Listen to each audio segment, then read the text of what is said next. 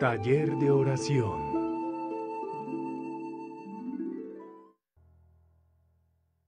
Sea bendito. Gracias por estar con nosotros, queridos cristovientes. Iniciamos el mes de septiembre.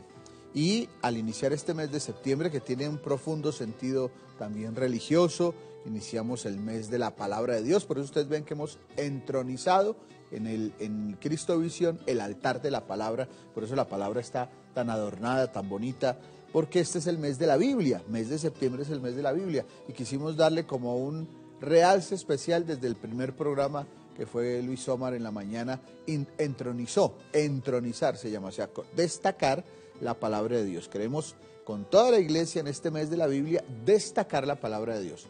No solo colocarla ahí con flores y velitas y bonito como un altar para la palabra, sino también destacar la palabra de Dios para poder acercarnos a ella y leerla.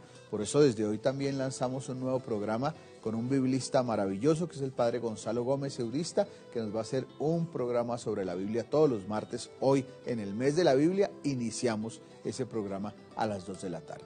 Y también ustedes ven flores, mi matica que me regalaron las monjitas franciscanas, la violeta de los Alpes, porque estos cinco días el Papa nos ha invitado desde hoy a, hacer la Jornada Mundial por la Tierra. Hace 50 años se generó esa, esa Jornada Mundial de la Tierra. Entonces nos vamos a unir invitados por el Papa Francisco, todas las religiones, para orar por la tierra. ¿ya? Entonces destacamos la naturaleza, las maticas, las flores, Está muy, muy ecológico el ambiente de Cristovisión en este mes de septiembre para unirnos con el Papa en esa intención de orar por todo, todas las religiones, todas las religiones oramos en la Jornada Mundial de la Tierra. Entonces es mes de la Biblia, es eh, oración estos días también la Jornada Mundial de la Tierra, la fiesta del amor y la amistad, empieza septiembre, es un mes muy bonito. Y también con esto, ustedes ya saben, empezamos la nueva normalidad en, nuestra, en nuestro país. O sea, esa posibilidad de volver otra vez a activar los trabajos, la economía, guardando el distanciamiento responsable, que esto es lo que nos han pedido. O sea, volvemos a salir a las cosas habituales que hacemos al trabajo, evitando las aglomeraciones, respetando los protocolos de bioseguridad, es decir, no es porque volvemos a la normalidad, significa que vamos a ir a respetar las normas de salud, lavarnos las manos, ponernos el tapabocas, todas estas realidades que son fundamentales porque el virus está, ahí está el COVID-19 y no quiere decir que se haya ido, como dijo el presidente, el virus no se ha ido, el virus está ahí y si no nos cuidamos, si no cuidamos a los otros, pues entonces obviamente ese, ese virus va a crecer. Entonces por eso pues vamos a pedirle al Señor al comenzar esta semana, este mes, que bendiga a todas las personas que van a salir a trabajar, que ya salieron a trabajar, que ya empezaron la normalidad, los vuelos aéreos, ya están funcionando los vuelos, ya hay vuelos eh, para, para, Bogotá, de Bogotá a Barranquilla, a Medellín, a Cali, eh, de diferentes lugares también. Que el Señor bendiga todo este trabajo, todas esta, estas estrategias nuevas para activar nuestro país y bendiga también los países a los cuales llega la, señal del canal Cristovisión. Por eso empezamos el mes de septiembre con toda el alma. En el mes de la Biblia, mira, ahí está, los evangelios. es un evangeliario, la palabra de Dios. Y los artesanos de nuestra tierra, pues han hecho esto porque esto es en metal, ¿no? No piensen ustedes que es en plata ni nada de eso. Es en, lata, pero es una, unos artesanos colombianos que labraron ahí a Jesús y a los cuatro evangelistas, Mateo, Marcos, Lucas y Juan. Nuestros artesanos colombianos, mire cómo labran de bien las cosas. Y ahí está la palabra de Dios, porque esa es la palabra de Dios, es el evangeliario.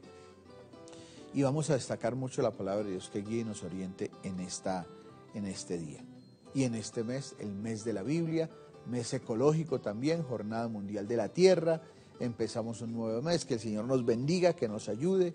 En este mes oramos también por la tierra, oramos por nuestro planeta, por la casa común, oramos porque esto que hemos vivido en estos seis meses y que ahora empezamos otra vez a, la normalidad, después de seis meses volvemos otra vez con calma a la normalidad, pues traiga eh, eh, una experiencia de compartir, de cuidarnos, la alegría de volverse a encontrar con muchas personas que, no, que hace mucho tiempo no se veían sino solo por Zoom o por Meet. Entonces ahora sí nos vamos a ver con esas personas, pero cómo vamos a llevar y portar la bendición de Dios a esas personas? Porque una cosa es que la normalidad empiece y otra cosa es que nos vuelva a devorar el consumismo, ¿cierto? Tuvimos la oportunidad de compartir con nuestras familias, de dialogar con ellos, de cuidarnos, de, de orar con ellos.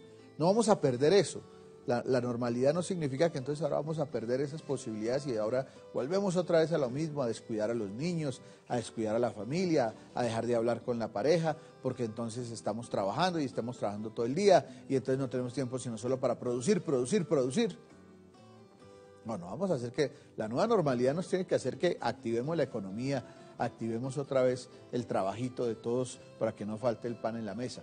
Pero las cosas valiosas que se nos ha dado, acercarnos a Dios, orar en familia, eh, hacer experiencia de comunidad, de fraternidad con los nuestros, eso no se puede perder. Al contrario, tenemos que recuperarlo, ¿cierto? No solo es la obsesión porque se active la economía para que haya harto billete, porque pues el billete va saliendo en la medida que vayamos trabajando, pero billete y sin paz, billete pero sin tranquilidad, billete sin camaradería, sin fraternidad, sin solidaridad, billete por billete, pues eso así es muy pecueco porque entonces, ¿para qué sirve eso?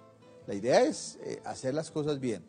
Esto, esto nos enseñó a que tenemos que cuidarnos y que ahora tenemos que cuidarnos más. Más tenemos que cuidarnos porque ahora depende de nuestra responsabilidad. Eso es lo que nos han pedido las autoridades. Piensen en su responsabilidad. Usted debe ser autorresponsable, no tiene que ni el policía decirle, ni todo el mundo decirle que cuide las normas, que se ponga el tapabocas, que se lave las manos. Ya no, es usted que tiene que ser responsable, porque si usted no es responsable, puede contagiar a sus seres queridos. Usted tiene que cuidar a los demás. Y para cuidar a los demás, tiene que ser usted autorresponsable. Eso es fundamental, la responsabilidad. No, ya no es que, que miedo, ni que me van a poner un parte, sino yo, me van a poner una amonestación, sino realmente yo tengo que lavarme las manos cada rato tengo que ponerme el tapabocas, ¿ya? Tengo que usar alcohol, tengo que hacer los protocolos de aseo de todo, de donde estoy. Hacer el distanciamiento responsable, se llama eso, distanciamiento responsable. Eso es parte de nuestra espiritualidad, ¿ya? Espiritualidad significa ser buenos ciudadanos. Anhelaríamos ya, por lo menos en Bogotá, en otros lugares de Colombia ya se están abriendo los templos. Aquí en Bogotá vamos, estamos orando mucho, mucho, mucho para que se pueda otra vez normalizar la posibilidad de participar en la celebración eucarística que falta nos hace y esperamos que en este mes se pueda realizar esa, esa apertura de los templos y se pueda celebrar la Eucaristía a puerta abierta o a, o a, cielo abierto, pero que se pueda celebrar la Eucaristía. Anhelamos eso, pero nosotros los católicos también participamos y hemos sido los obispos, los sacerdotes, los católicos hemos sido supremamente responsables en el, eh, y hasta sacrificados en el hecho de, de, permitir precisamente cerrar los templos en beneficio de aportarle a, a este tema eh, más eh, salud. Pero ya es hora de, de empezar a reflexionar sobre eso y ojalá que en Bogotá hay que decirle a nuestros dirigentes de Bogotá que también es importante que le permitan, como decían los obispos en su comunicado al presidente y a la alcaldesa, los obispos de, de la provincia eclesiástica de Bogotá, eh, o de algunos de los obispos de la provincia eclesiástica de Bogotá, pues es importante para la salud mental, espiritual, física, psicológica, la posibilidad de celebrar la Eucaristía en comunidad. Eso no se, no se deseche esa solicitud. Orar con la historia nos corresponde. Y pues mucho tenemos que orar, empieza un nuevo mes, mes de septiembre, cómo empiezas el mes de septiembre, con ilusiones, con esperanzas, tal vez con algunos temores, no hay duda, pero cómo empiezas el mes de septiembre. Mejor empezarlo en las manos de Dios, mejor empezarlo en las manos de Dios. Empezarlo confiado en el Señor, sin otro temor que no sea, Señor, que el gran temor sea alejarme de ti, perder la gracia, esclavizarme del pecado. Que, es, que, ese sea el gran temor del mes de septiembre. Ay Dios, que no me voy a alejar de ti. Que por toda esta nueva normalidad y estas cosas ya deje de rezar, deje de ver Cristovisión, deje de encomendarme a nuestro Señor, deje de, participar y orar con los míos en las actividades, que no me aleje de ti. El día a día va saliendo, el día a día va saliendo. Y en la medida que el día a día va saliendo, pues también va saliendo la posibilidad de, de empezar las cosas como se debe hacer. Entonces orar desde la historia, con nuestra historia. Hemos vivido seis meses muy intensos, vienen unos meses que no que requieren responsabilidad, ya, responsabilidad. Y esos meses que requieren responsabilidad, pues necesitan también de mucha espiritualidad. Confrontarnos con la palabra de Dios, confrontarnos con lo que el Señor quiere en comunidad, qué quiere Dios, qué nos pide Dios, cuál es el, el mensaje que el Señor nos da, cómo descubrimos ahora su voluntad, su camino en esta nueva normalidad, cómo, cómo somos comunidad eh, que aporte al crecimiento espiritual, social, familiar de, nuestra, de nuestros barrios, de nuestras comunidades, de nuestro país. Pues eso es parte también de la espiritualidad. Y la espiritualidad es fundamental en el desarrollo cultural de las personas. Es fundamental. La espiritualidad no es un añadido, no es algo desechable. Hoy se habla mucho de la economía y van como arrinconando el tema de la espiritualidad. Si no hay espiritualidad, que es una dimensión integral del ser humano, pues las cosas crecen deformes. El ser humano integral, pues no crece bien, crece deforme. No solo es abrir la economía y llenarnos de dinero, porque pues ya sabemos que eso lo único que produce es caos, violencia, odio. Es integrar a ese desarrollo económico el desarrollo humano integral. Desarrollo humano integral. Desarrollo humano integral es la espiritualidad, la justicia, la fraternidad, el crecimiento de todos, no la depredación. No puede ser, se abrió las posibilidades de que se active todo. Esto es una carrera local, que primero active la economía y el primero que que funcione y los demás, si no alcanzaron a correr y quedaron de últimas, muéranse. No, no es así. Es precisamente acoger nuestra, en nuestra vida a Dios para construir una sociedad mejor. No es volver a construir la misma sociedad de antes. Activemos la economía, que hayan poquitos, eh, poquitos eh, eh, ricos y muchísimos pobres.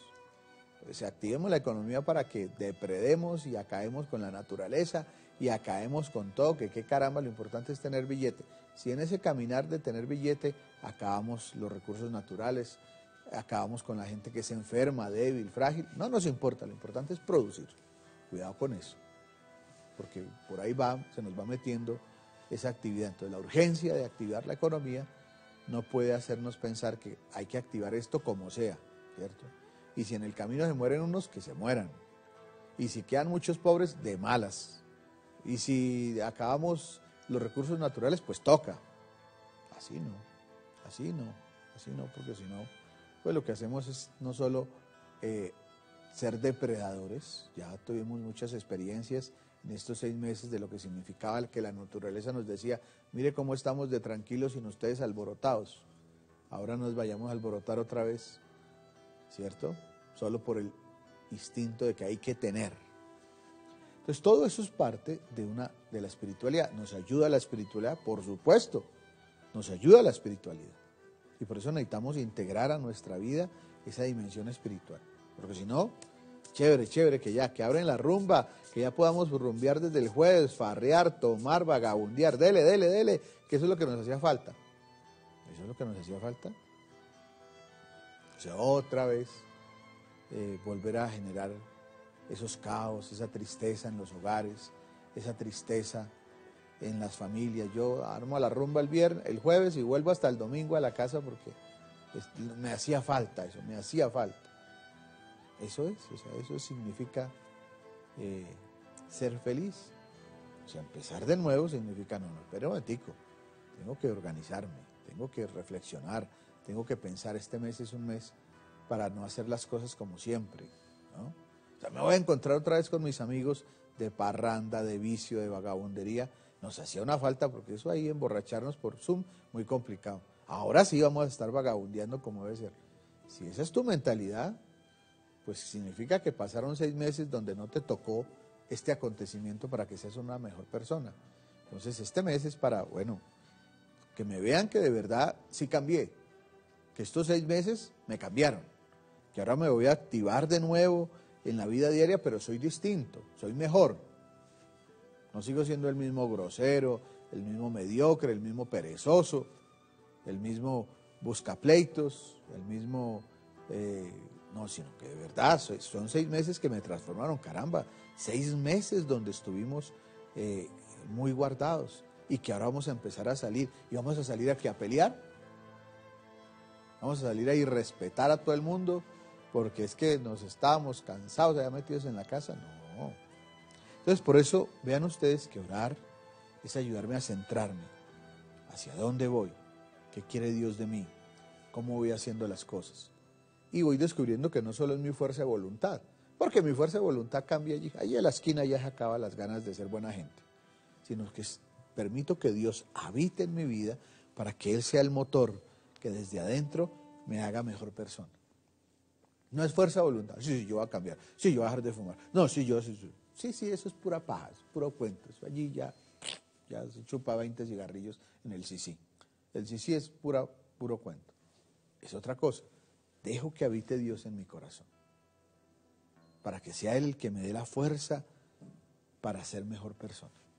Para dejar ese genio, esa forma de ser, esos ambientes hoy día. La gente es como medio parchuda.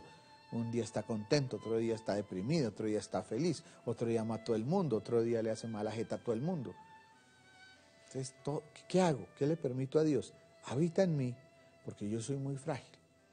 Entonces, como soy tan frágil, necesito que más bien tú, Señor, seas la fuerza que me ayude a vivir, a entender los fracasos, a entender las decepciones amorosas, a entender por qué me la embarro y aprender de esos errores, pero es Dios que me da la fuerza para decir, bueno, mi hijo, bueno, mi hija, aprenda de eso y siga adelante, no se traumatice, ni empiece a ser agresivo por lo que le pasó.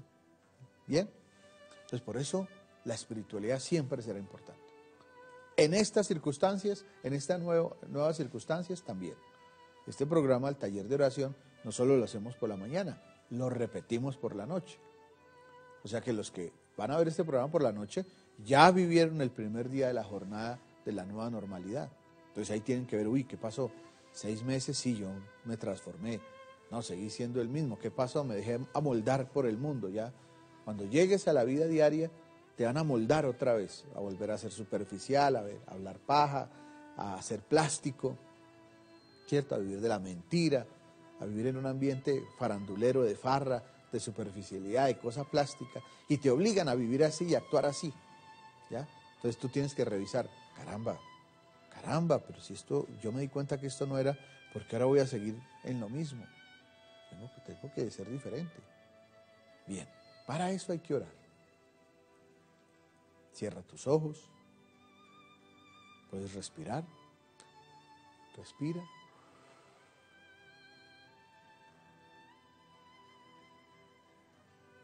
Dejamos un momento de silencio.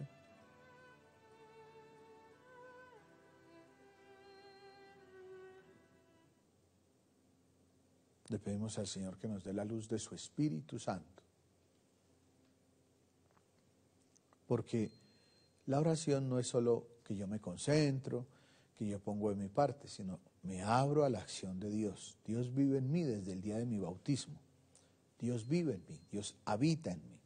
Y cuando invoco al Espíritu Santo lo que estoy diciendo es, Señor, tú que habitas en mí, te doy la oportunidad, el permiso, abro mi corazón, abro las puertas para que tú me permitas encontrarme contigo, para vivir ya no fruto de mi imaginación, de mis pasiones, de mis impulsos, sino que tú habites en mí.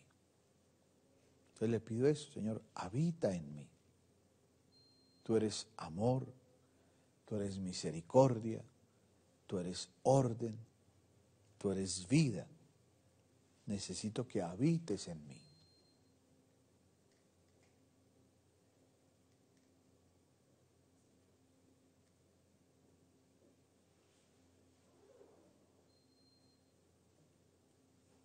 quién soy, cómo hago las cosas, cuál es mi historia.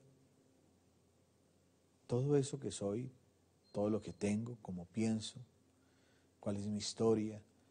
Todo eso es parte de permitirle a Dios, necesito una palabra tuya sobre todo eso que soy. La oración es mi historia, mis pensamientos, mis sentimientos, mis afectos, mis fuerzas interiores. Necesito que tú habites en ellas, que me digas algo sobre lo que soy. Hazte presente en mi vida, en mi realidad. Me conecto profundamente contigo allá en lo más íntimo de mí. Hay veces que allá cuando estoy solito, estoy solita, en lo más íntimo de mí, me doy cuenta que hay una voz interior.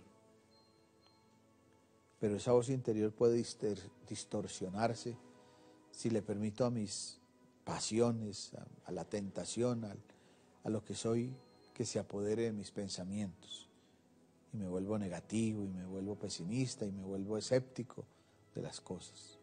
Pero si yo callo, pido la luz del Espíritu y le permito al Señor que está en lo profundo de mí, que se haga presente en mi vida y en mi corazón, entonces me conecto con el misterio de amor, de paz, de fraternidad, de humildad.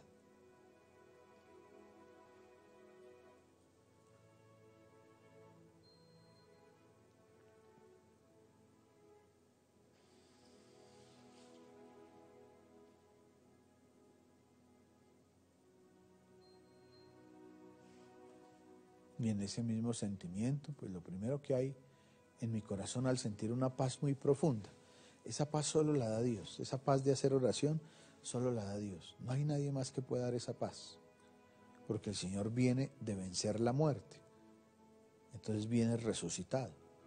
Y cuando yo lo invoco, me da una paz que solo Él me puede dar. Por eso lo primero que hago al encontrarme con Él es agradecer. ¿Ya? Siempre agradecer. En la vida agradecer. ¿ya? Uno nunca, nunca, nunca, nunca puede llegar ni a encontrarse con alguien y una vez reclamarle o reprocharle, sino qué bueno que estés aquí, qué bueno verte, qué alegría verte. En términos cristianos eso se llama alabar, glorificar. Cuando uno dice, oh, qué dicha verlo a usted, ah, qué alegría que usted esté conmigo, ay, qué bueno verlo. En términos cristianos eso se llama, yo te alabo, yo te glorifico, gracias por estar conmigo gracias por mi vida, gracias por estar aquí, por permitirme en este momento, a través de Cristovisión, estar aquí hablando de estas cosas. Gracias. Podría haber estado en 300 canales más viendo noticias, películas, etcétera, etcétera. Pero tú me has permitido estar en este momento de paz, en la mañana o en la noche, aquí. Qué bendición podría estar en este momento allá sumergido en la depresión, diciendo qué miserable soy, qué mal me va, eh, qué desgracia mi familia, qué, querida tan brava es. Pero tú me permites estar aquí contigo, que eres paz, que eres amor, que eres seguridad. Qué bueno, qué bueno. Por eso uno alaba. Eso se llama alabar, glorificar, dar gracias. Lo mismo que cuando alguien que le causa una gran alegría, se encuentra con esa persona. Ay, qué rico verte, qué bueno verte. Gracias Señor, porque en este momento estás conmigo. Gracias. No, no lo dude, ni un segundo. Él está en este momento con usted. Entonces usted cierra sus ojitos. Gracias Señor. Y uno puede dar gracias también por la historia. Gracias por estos seis meses que pasaron. Gracias porque me da la oportunidad de iniciar hoy con el primero de septiembre un nuevo mes. Gracias por la oportunidad que me das de aprender de toda esta pandemia. Gracias por la oportunidad que me das de trabajar, de crecer. Mi carne, dice la palabra, mi carne tiene ansia de ti como tierra reseca, agostada sin agua, dice un salmo de la Biblia. Gracias porque mi carne, lo que soy, necesita de ti. ¿Ya? Gracias por este momento porque me estoy alimentando. Esta carne, lo que soy, esta corporeidad, necesita de este momento. Pueden necesitar música, pueden necesitar alimento, pueden necesitar ejercicio, pueden necesitar dinero, pero sobre todo lo que necesita en este momento es de ti. Gracias Señor por esto. Dile al Señor, gracias. Tú mismo tienes razones para agradecer. Entonces este momento que dejamos de silencio es para que tú mismo también expreses agradecimiento.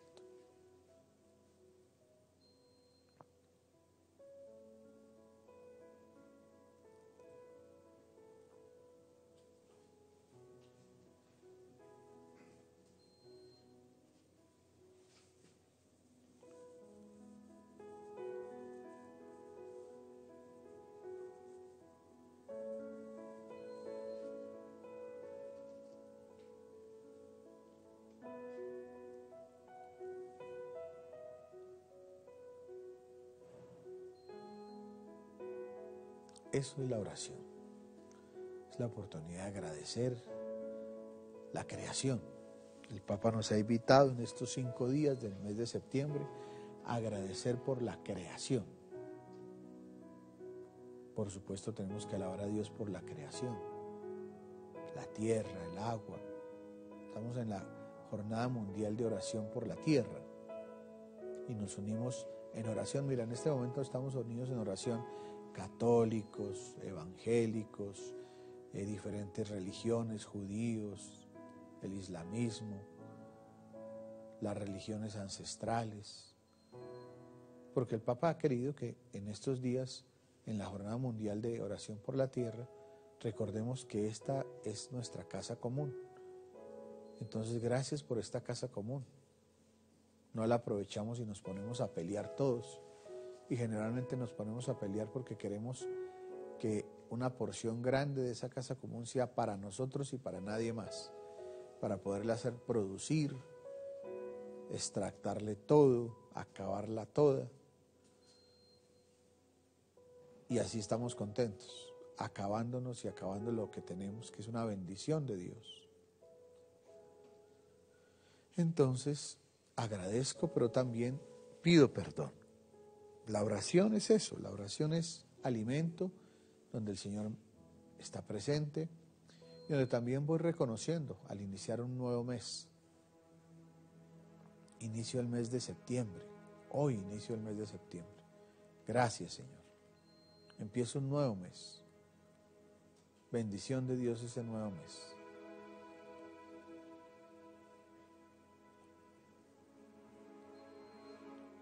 Ten misericordia de mí. Uno empieza un nuevo mes de manera humilde, no imponiendo. No tengo por qué imponerle a nadie nada. De manera humilde proponiendo. Y menos a Dios tengo que imponerle. Deme, deme, deme. Al contrario, Señor, ten misericordia de mí, les decía. Este mes de septiembre que no me aparte de ti. Que esos buenos propósitos que tengo, esas buenas acciones que, he propuesto hacer, ayúdame soy consciente de que soy frágil. Agradezco a Dios, me alegra mucho que esté conmigo, pero soy frágil, muy frágil. Nada me fortalece. Creo que eso lo tenemos claro todos. Con este tema del virus nos hemos dado cuenta cuán frágiles somos que no, que eso era solo para los viejitos, no, que era solo para los diabéticos, no, que eso era para los obesos, no, que eso era solo para los hipertensos. Nada. El virus se puede llevar a cualquier persona si usted haga ejercicio, si usted haga dieta, o si usted tenga las defensas altas. Ese virus lo puede coger y tres vueltas le da. O sea, necesitamos ser conscientes de que somos frágiles y necesitamos humildad para pedirle al Señor, ten misericordia, porque yo me siento el dueño del mundo, me siento que ya tengo un poquito de plata en el bolsillo, me siento que ya tengo fuerza y ya me siento Dios. Entonces, Señor, ayúdame a ser aterrizado, a tener misericordia. Ten misericordia de mí, que soy fácil, fácil, me dejo creer que soy el rey del mundo. 50 pesos en el bolsillo, una tentación, un momento de superficialidad, de arrogancia, de prepotencia, y ahí la embarro. Le hago daño a los otros, me hago daño a mí, y entonces me doy cuenta cuán necesitado soy de ti. Entonces empiezo el mes de septiembre pidiéndole al Señor, ten misericordia de mí. Mis fragilidades, mis pecados, mis tentaciones, mis, mis chicharroncitos de mi personalidad, que soy inaguantable, que soy una carga para los otros, que soy fastidioso. Todas esas cositas no van a desaparecer mágicamente en el mes de septiembre. Entonces por eso mismo, Señor, ten misericordia de mí. Ten misericordia, no quiero ser una carga para mi esposa, mi esposo, mis hijos, mis compañeros de trabajo, mis compañeros de equipo, por mi formita de ser tan maluca. Perezosongo, echar el agua sucia al otro, cizañero, intrigante, dividir, autosuficiente, arrogante me victimizo, corro el bulto a mis responsabilidades. Esas cositas no van a cambiar en septiembre. Pero si soy consciente de que en mí habita el pecado y que la tentación fácilmente me hace caer, pues también le pido al Señor, ten misericordia de mí. Ayúdame a prevenir, ayúdame a hacer examen de conciencia, ayúdame a analizar las cosas, a buscar ayuda de otro, de una persona más sabia, más anciana, que haya vivido, más espiritual, que me dé como luces sobre cómo debo actuar, pensar, obrar. Y sobre todo dame la fuerza de tu espíritu para que de verdad humildemente te pida, Señor, ayúdame. ¿Por qué le tienes que pedir al Señor que te ayude de tu vida? Vamos a hacer un momento de silencio. Es un diálogo con el Señor. Ayúdame. Ayúdame en estas situaciones complejas de mi personalidad, mis tendencias, mis vicios, mis pecados. Ayúdame, Señor.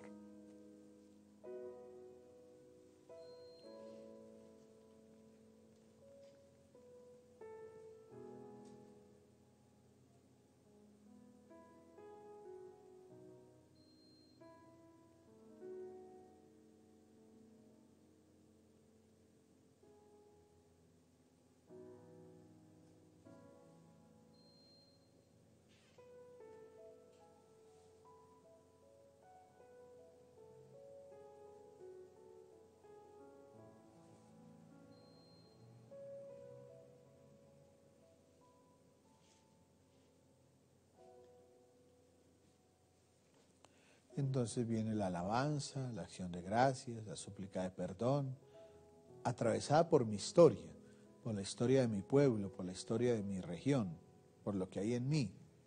Si ves, no hago una oración desconectada de la realidad. Oro con la realidad. Y de tal manera que cuando hago oración, la gracia del Señor transforma, santifica esa realidad para que no tenga una mirada pesimista, negativa de esa realidad, sino una mirada de fe. Pero la oración también lleva a ponernos en las manos del Señor. Un diálogo con Él es un acto de confianza profunda en el Señor, en su palabra, en este mes de la palabra. Es un acto de profunda devoción, el mes de la palabra. Confío en tu palabra, Señor. Me dejo, me fío de ti. En este mes de septiembre me pongo en tus manos, cada uno de ustedes, los que están haciendo este taller de oración por la mañana o por la noche, me pongo en tus divinas manos, Señor. Eso sí, ninguno de estos días del mes de septiembre, ninguna hora, ningún minuto, ningún segundo, que desconfíe de ti. Me abandono en tus manos, Señor. Ese es lo mejor que puede hacer uno en la oración. La mejor bendición es saber que el Señor me va a guiar, me va a orientar, me pongo en tus manos. Cualquier duda, cualquier situación que no vea clara, cualquier situación donde yo vaya a tomar una mala decisión, Señor, guíame, oriéntame.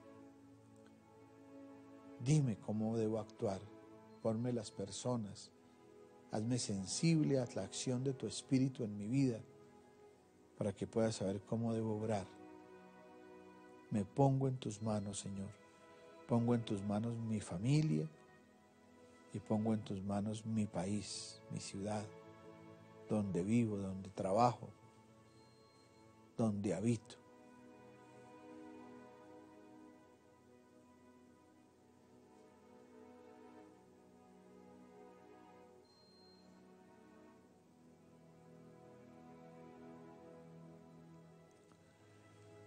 Padre nuestro que estás en el cielo, santificado sea tu nombre. Venga a nosotros tu reino, hágase tu voluntad en la tierra como en el cielo. Danos hoy nuestro pan de cada día, perdona nuestras ofensas, como también nosotros perdonamos a los que nos ofenden. No nos dejes caer en la tentación y líbranos del mal. Amén. San José, ruega por nosotros. Nuestra Señora del Perpetuo Socorro, ruega por nosotros. Te invito a que ayudes a Cristovisión te invito a que hagas parte de todos los que con su ofrenda, con su diezmo, con su cariño y su colaboración apoyan esta obra. Si quieres ayudar, ya sabes cómo. Ahí está. Entras a la página web, das tu aporte a Cristovisión o en cualquier punto de Efecti o de Imonis das tu aporte a Cristovisión o también nos llamas y te decimos cómo puedes ayudarnos. Que el Señor te bendiga y te acompañe. En el nombre del Padre, el Hijo y del Espíritu Santo. Amén.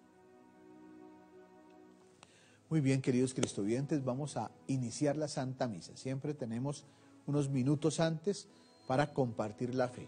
Como hicimos el taller de oración y como vamos a celebrar la Eucaristía a las ocho y media, estos minutos anteriores son para llamar a Cristovisión, para participar y decir, le ofrezco al Señor este mes, le coloco en las manos del Señor esto, ya que hice oración, quiero presentarle esto al Señor. Todos a llamar ya vamos a listar para celebrar la Eucaristía y recibir su participación, que es fundamental. Ya nos vemos.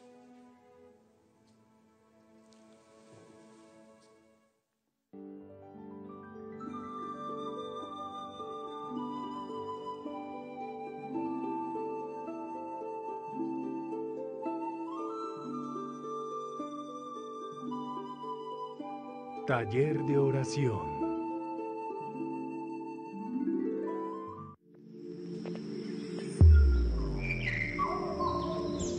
Cristovisión. El Señor nos unge para ir a las diversas multitudes